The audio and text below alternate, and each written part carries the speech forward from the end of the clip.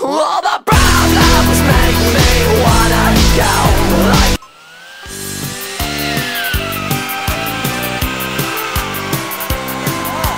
jäkla massa påfund som kommer söderifrån Det har vi uppe i fjällen här fått lära oss av dem Som kommer hit med leasingbil med skidor på sitt tak Och kläder som ej funkar men som visar dålig smak Varför åka skidor när man kan åka spark?